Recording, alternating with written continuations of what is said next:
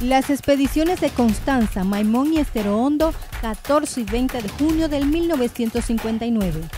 Estaba programada para llegar por aire y mar a suelo dominicano el 14 de junio. Sin embargo, las dos embarcaciones facilitadas por los cubanos llegaron a la costa norte seis días después, debido a un sabotaje y al mal tiempo.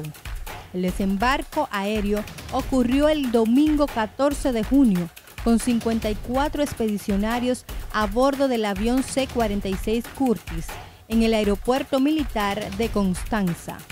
La ruta de incursión aérea fue dirigida por Juan de Dios Ventura Simó y la expedición comandada por Enrique Jiménez Moya. El desembarco aéreo en sentido general fue exitoso y sin bajas, logrando los expedicionarios desplegarse hacia las montañas en dos grupos, uno dirigido por Enrique Jiménez Moya con 33 hombres que avanzó hacia Tireo, mientras que los otros 20 expedicionarios avanzaron hacia las montañas de El Botao, bajo la dirección del comandante cubano Delio Gómez Ochoa.